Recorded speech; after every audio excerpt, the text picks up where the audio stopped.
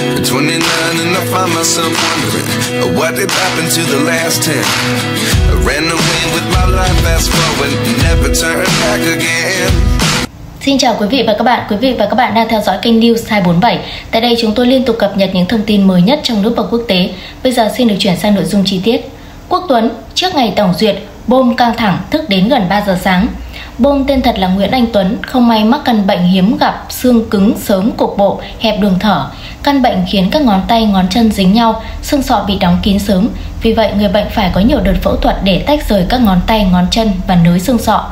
May mắn thay, trong 21 năm, diễn viên Quốc Tuấn luôn đồng hành cùng con trong mọi lĩnh vực.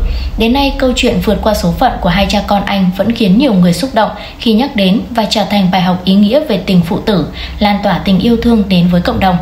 Sau 7 năm theo học khoa Pianoja, Học viện âm nhạc quốc gia Việt Nam, sáng ngày 5 tháng 1, phần thi hòa tấu sẽ quyết định Bom có đủ điều kiện được thi tốt nghiệp trung cấp âm nhạc vào tháng 5 năm 2024. Chàng trai 21 tuổi đã trải qua vòng sơ duyệt khắt khe và được hội đồng chấm thi đánh giá cao về phần trình diễn. Bố Quốc Tuấn kể, đêm trước ngày tổng duyệt, Bông căng thẳng lắm, thức đến gần 3 giờ sáng, dành ít nhất 8 đến 10 tiếng một ngày luyện đàn, Bông bất chấp mồ hôi tuôn ra ướt sũng lưng áo, quyết tâm theo đuổi đam mê. Chia sẻ với chúng tôi, nghệ sĩ Quốc Tuấn kể mỗi lần đi biểu diễn hay tập luyện tiêu tốn rất nhiều năng lượng của con trai.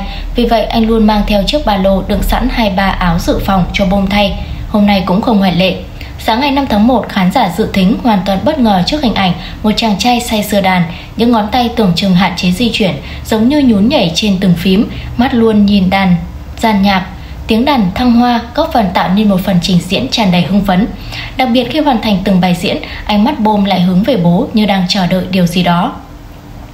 Đáp lại ánh mắt mong chờ của con trai, bằng một cách nào đó anh Tuấn nhắc nhở Bôm tiếp nối màn trình diễn, không để cảm xúc chi phối.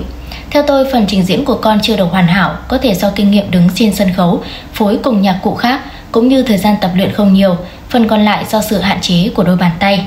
Cùng là nghệ sĩ, tôi biết con mình đang rất lo lắng. Tuy nhiên để khen thì rất khó, bài nào khen được thì khen, nhưng bài nào chơi không tốt thì vẫn phải chê.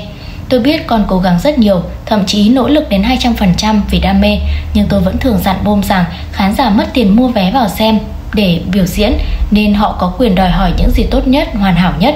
Trong lĩnh vực nghệ thuật không có chỗ cho sự thông cảm, vì vậy con phải cố gắng hơn nữa. Anh Quốc Tuấn tâm sự Nhắc đến tình trạng sức khỏe hiện tại của con trai, nam diễn viên cho biết hành trình chữa bệnh cho Bôm phải tính từng bước. Chàng trai 21 tuổi đã nhổ hết răng hàm trên cho ngày chồng lại nên ăn uống nói chuyện khó khăn. Vì vậy ước mơ lớn nhất hiện tại của anh sau khi cùng con trải qua cuộc phẫu thuật là Bôm được hoàn thiện tất cả chức năng đang còn thiếu. Trước hết là hàm răng giúp cho ăn uống bình thường, sau đó khắc phục đôi bàn tay để thuận tiện chơi đàn. Suốt hành trình vun đắp giấc mơ âm nhạc của Bôm, bố Quốc Tấn quan niệm nạp càng nhiều kiến thức, bước chân trên đường đời sau này của con sẽ ngày một vững vàng hơn. Tôi không vội cho con đi biểu diễn bởi đi làm đòi hỏi một nền tảng kiến thức thật vững chắc mới đủ tự tin. Nếu khai thác sớm, năng khiếu của con mãi chỉ đứng yên một chỗ, nam nghệ sĩ chia sẻ.